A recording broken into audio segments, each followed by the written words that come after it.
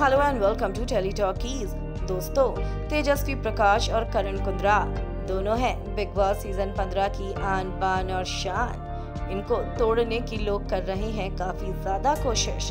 लेकिन इतने बुरे वीकेंड के वार के बाद तेजरन ने दिया सभी दुश्मनों को करारा जवाब।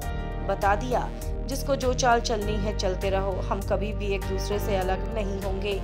हम दोनों साथ थे, हैं और हमेशा रहेंगे। क्या किया है ऐसा? चलिए हम आपको टेली टॉकीज पर बताते हैं। लेकिन अगर अभी तक आपने चैनल को सब्सक्राइब नहीं किया, ज़रूर करें और बेल आइकन को दबाएँ। दोस्तों, बिग बॉस सीज़न 15 के घर के अंदर आप सभी जानते हैं कि वीकेंड के बार में कई लोगों ने कोशिश की तेजस्वी के कान भरने की करण के खिलाफ। ऐसे में तेजस्वी ने उन सभी को जवाब दे दिया। जब घर के अंदर बप्पी लहरी आए, बप्पी लहरी ने आकर अपने गाने बजाए और घर वालों ने ऐसे में खूब मस्ती भी की। तेजस्वी प्रकाश ने भी खूब मस्ती की।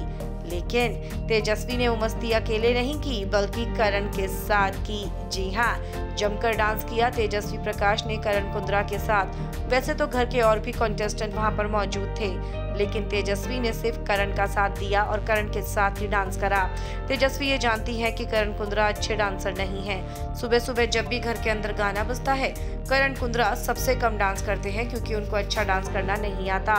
लेकिन जब तेजस्वी के साथ करण ने ताल से ताल मिलाई तो यकीन मानिए करण ने किया बहुत ही शानदार डांस और घर के सभी लोग इन दोनों को ही देख रहे थे क्योंकि सब ये समझ चुके हैं कि कितनी भी कोशिश कर ले इन दोनों को अलग करने की पर ये दोनों एक दूसरे से अलग हो ही नहीं सकते। इनकी दोस्ती पक्की है दोनों बेस्ट फ्रेंड्स हैं। वेल well, दोस्तों आप क्या कहेंगे? कमेंट्स में हमें ज़रूर लिखकर बताएँ। वीडियो को लाइक और शेयर करना आप ना भूलें।